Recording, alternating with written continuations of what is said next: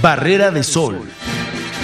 Son las 9 con 49. Gracias Inés Torres, gracias Inés. Y vamos a ver con la, con la incongruencia, porque ya me van a empezar a decir las redes sociales que soy un incongruente, que primero hablo de salvar a la vaquita marina, y ahorita voy a hablar de toros, que yo no hablo de toros, el que habla de toros es el señor Saborit, que ya está aquí, que no estuviste, que, que, está cada ocho días, no es cierto, no está cada ocho días, está cada que hay información relevante que tiene que ver con toros.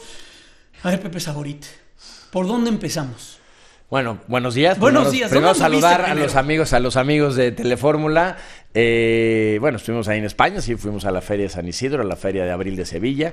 Eh, yo, ¿Por dónde empezamos? Que vivimos en un país libre, que se respetan las libertades, que tú eres un periodista plural, este espacio es plural, que se tienen que respetar las, los gustos y aficiones del pueblo. Creo que eso es lo más importante. Y eh, escuchando en la nota anterior, te puedo decir que los taurinos somos animalistas, nos sumamos a esta protección animal.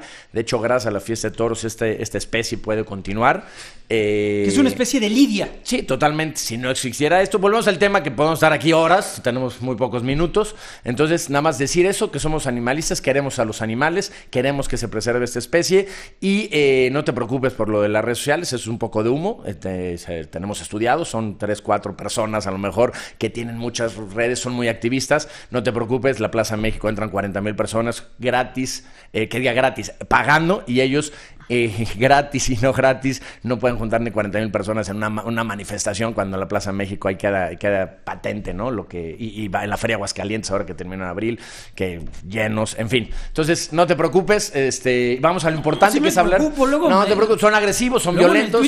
Y, ellos, se amparan por decir, como tú sacrificas un animal, yo puedo violentar. Entonces, los taurinos no somos violentos, ¿no? Entre seres humanos nos respetamos, ellos son violentos, no te vamos a atacar. Pero bueno, yo quiero aprovechar ese espacio para hablar de toros, que es lo, importante, porque también hay mucha gente de los toros que nos ve, que no necesariamente atacan, sino nos ven con, con, gusto para escuchar noticias taurinas. Y lo de hoy es la Feria San Isidro. Hablamos de Madrid, que es la, la plaza pues número uno en el mundo. Eh, esta comparación que a lo mejor a los taurinos conservadores no les gusta, que es como, como el Mundial de Fútbol, pues finalmente esto es cada año en Madrid, donde pues, la Feria San Isidro, que se hace desde el año 1947, la Plaza Madrid se, se construye en el año 29, se inaugura en el 1931, en la época de la República Española, una, una corrida inaugural para, benéfica para un paro laboral que hubo.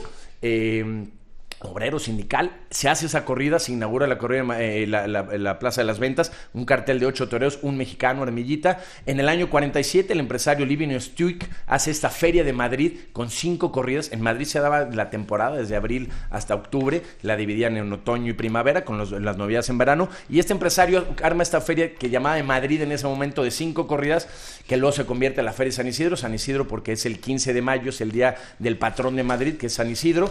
Y esa feria de cinco cinco, cinco, festejos termina lo que es hoy en día con 30 festejos. Es la plaza que más corridas da, da al año, dan, un montón de festejos. Y esta feria de 30, 30 festejos casi llenas todas las corridas.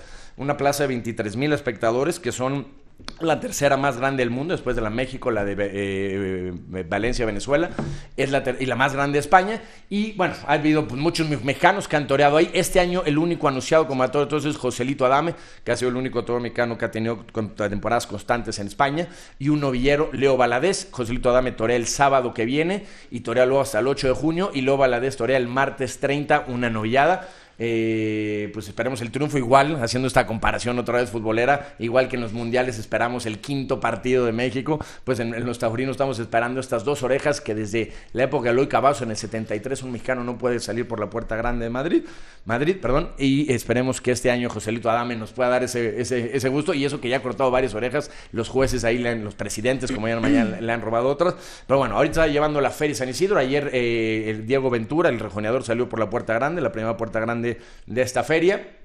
Y, bueno, ahí van todas las figuras.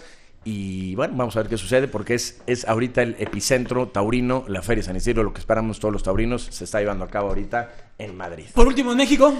En México ahorita es, una etapa como de, tranquilidad, no hay muchos festejos, hay un, eh, hay un festejo en San Juan de los Lagos, Arturo Macías, eh, Arturo Saldívar y Jorge Sotelo. Ayer un festival en Ciudad Lerdo, benéfico para lo de... Eh, El toreo se viste de azul. En fin, hay, poca, actividad. Lo fuerte ahorita en España, pero sigue habiendo eh, pocos, festejos, pero hay en México. Muchas gracias, Pepe. Oye, ¿y qué onda con los Pumas? Pues nada, esperar la Ya temporada nos que viene. ¿no? deshicieron, nos deshicieron el equipo. Pues sí, bueno, pues hay que renovarlo y sobre todo yo vuelvo a lo mismo, hay que morirse con la suya. Pumas tiene que morirse con lo- la cantera, sacar jóvenes. Sí, pero no, Sí. pero no puedes tratar hacia tus ídolos. Mm, De acuerdo. de Verón acuerdo, sí. y Picolín Palacios acuerdo, no de pueden, no, pu- no debían Hay formas, ¿no? Me recuerda como, como lo de Iker Casilla en el Madrid cuando se, se fue. Y- y el América hay, que hay- hay también ha- maneras, hay maneras de, de- de sacar a tu gente grande. Este, Sí, claro. Pero bueno, son, no, ahí sí no podemos, no podemos hacer nada. Somos aficionados y esperar a ver qué hace la directiva. Sí presionar desde alguna manera, ¿no? Pues somos aficionados y que se hagan bien las cosas. Y pues esperar el año que viene, ¿no? Pues Pepe, muchas gracias. Estaremos Suerte. en contacto. Que vaya todo bien. Gracias. 9 con 54, tiempo del centro.